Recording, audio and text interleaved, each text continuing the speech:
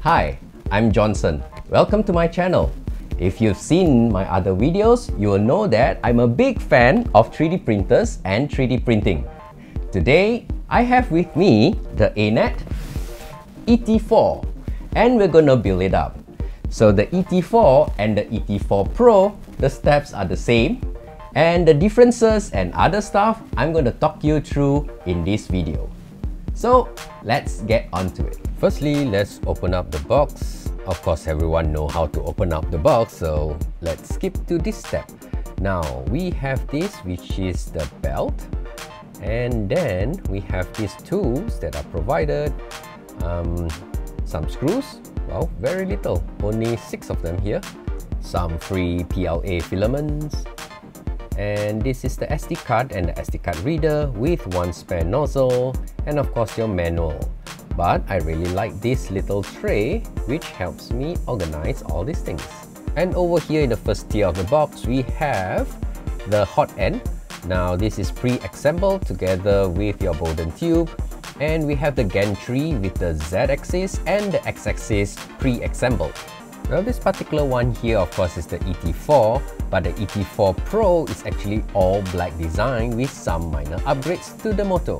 ANET is very generous to include this print surface that can be stick on, but we are more interested in this glass bed anyway. Let's look at the little tray that I put aside just now and open up this pack of manuals. So what do we have here? A user manual, no, a setup manual, a user manual, and a parts list manual with all the parts that's included, and a very nice thank you letter from ANET. Let's unpack the base of the 3D printer from the bottom tier and let's see what's hidden here are power cables and also the spool holder which we will install last. Seems like we've already unpacked everything so let's get on. First step to install this gantry. Alright, so this gantry will go over here and in your manual is step 1.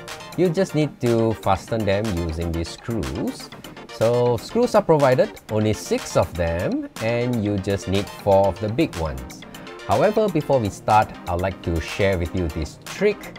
You just use a square to make sure that the gantry, the Z-axis itself, is all square and nice because this will prevent you from having bad prints. So let's get on to installing these screws. If you're not sure, you can check back. Yep, step 1 are these 4 screws So the best thing to do is just to slot all these four into these four holes. It's actually quite obvious, not much instructions needed, but a good tip will be using your fingers to fasten the screw until it's quite tight and then use this Allen key, the largest one that's provided, to fasten them. However, don't tighten it too much yet because I have another tip to share. Oftentimes during the installation process, the screw is slightly bent and it will impact the Z-axis straightness. So using this particular square, we make sure that it is straight and then finally you can tighten them up. If it's not straight, loosen it and redo it again. Once done, we can go to the next step. We can check the manuals again. The next step is to install the belt. The manual is trying to warn you on the directions of the belt and I will show you in details. So first of all, let's remove this cable tie. I wanted to cut it and then I realized it's actually a removable cable tie. Just press on it and you can reuse it again. So, and remove this particular foam that is protecting the lead screw. Now you can lift up this particular x-axis. Oh, I realized that the rollers are a little bit too tight, but we're gonna get into it later on. Let's remove this belt. And the belt has directions. Make sure that the teeth is actually inside and is going through both the rollers on the left and the right. Now let's unpack the hot end and inspect it. And this is the main fan in the housing. Very nice, all metal. That's the auto bed leveling sensor um, the fan for your print. There's a nozzle. And let me see, here are the rollers, which are a little bit tight, which we will try to adjust it later. So let's see which one is adjustable. So the bottom one has an eccentric nut. We can adjust that. The top seems to be fixed. So that's the eccentric nut. We can adjust that to loosen the rollers, right? Okay, and these two particular prong here is where we're going to install the belt later. Hmm. The build seems to be quite nice. The green stub here for the ET4 uses capacitive proximity switch, but the ET4 Pro uses photoelectric sensor. Now let's install the hot end into our x-axis. Just slide them in, make sure that the belt is at the bottom, and we're gonna hook them up. So first, hook on one side and make sure the entire belt is in it and over the rollers. Alright? And of course, the teeth is inside, touching the rollers and the other end as well. Alright? Once that's done, hook the other end in into the prong. Don't worry if it's still a little saggy because we are going to adjust and tighten that this side. So on the motor itself, we can just loosen these nuts, right? Loosen all four of it. What can we do is we can just pull it all the way to the other end. Make sure that it's tight. Tighten the top left screw first. And once it's tightened, what you can do is you can just twist the motor to tighten the other end. So once that's done, now we have it very tight. Very good twang, twang. Alright, once that's done, just test it a few times and fasten the rest of the screws. Make sure it's firm but don't over tighten it. Now let's revisit the rollers here. You can see that the rollers are actually quite tight. Um, you can just use this wrench, turn on the eccentric nut and test the rollers again. So a little tip is to make sure that the rollers are not spinning freely like this, but just enough to spin the whole axis up and down, alright? And let's test it again. Okay, so much smoother now. Uh, let's work on the right side. Same drill, just loosen it.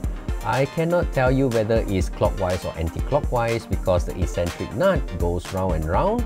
So sometimes it's clockwise and sometimes it's anti-clockwise for you. We then go to step 3, which is the fun part of putting all the wires in. The good thing is, all these are well labeled, so it's very easy for you to install them.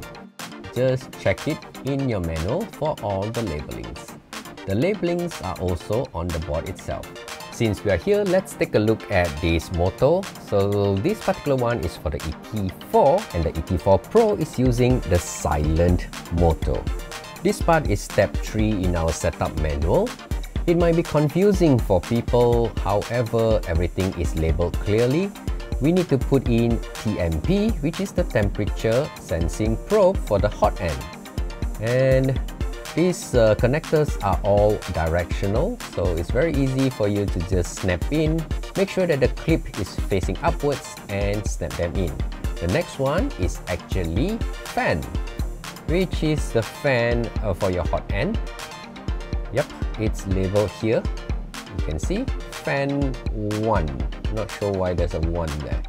Alright, snap it in. And then the top left is BL right here. BL and let's put it in. Okay and let's look for LV which is the leveling. It is a 3 pin so you won't get it wrong. And let's see what is this. This says N E N D so N goes to the top right and then LV which is your leveling sensor goes here with the 3 Okay, now we are done. Just make sure that everything is nice and tightly clipped on. Okay, oh, this part is 3D printed. Kinda cool, huh? So that is actually for your filament sensor. Last but not least, the entire ribbon assembly from the motherboard. So this is direction as well. Make sure the notch is facing us and clip it in. For the Bowden tube, the pneumatic coupling has already been assembled, you just need to push the tube all the way in and make sure that it is locked. If you push down the pneumatic coupling, you can remove the tube easily. I like this particular one, seems good quality. Alright, all the way in as tight as possible. Let's check all the other connections to make sure that all our cables are connected. Okay, we have for the X-axis motor. How about the Z-axis? Huh, seems like it's not connected yet and the wire should be under this foam. Let's take away this foam which is used to protect the bed from moving about and there it is. We, in order to unfasten the bait, we have to remove this particular stopper. Alright, just peel them off. This silicone stopper is kind of fun. Now we can move it backwards and the front one as well. I realize the bait movement is a little bit rough and seems like the rollers are a little bit too tight. Now listen to this. Can you hear the uneven clunky roller sound? We're gonna fix it using this eccentric nut. So same way, just try to unloosen the eccentric nut and test it again. Okay, seems like we fixed it already. No more clunky sound and the bed is smooth now. With the bed out of the way, we can now access to the Z-axis connector.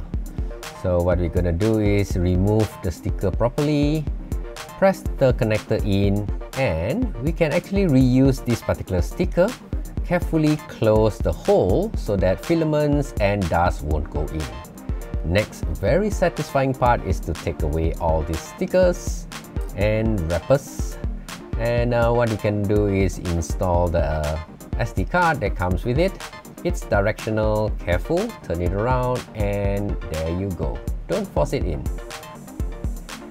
Now will be the power cable and turn on the switch. So with it on we can go into the menu and this is actually a touch screen so you can just go into settings. Let's test all the axes and make sure that the connection and the motors are functioning well. Seems like we have a perfect build as all the axes is working well. To unlock the motor, just press on M and you can manually move the stepper motor. One of the best feature in this 3D printer is of course the auto bed leveling. Jadi Life, who is the distributor of this printer, uploaded a very detailed video on how to level your bed properly. You can click on the link to check out their video.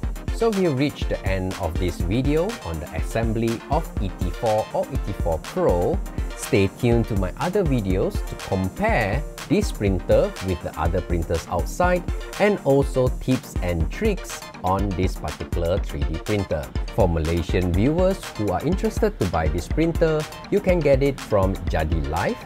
They are the official distributor for Malaysia and extra bonus for you if you put in the promo code Kaki DIY, you will get additional 3% off of your purchase. Alright, Hope you find this video informational and helpful.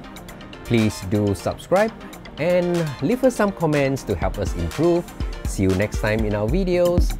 Bye bye.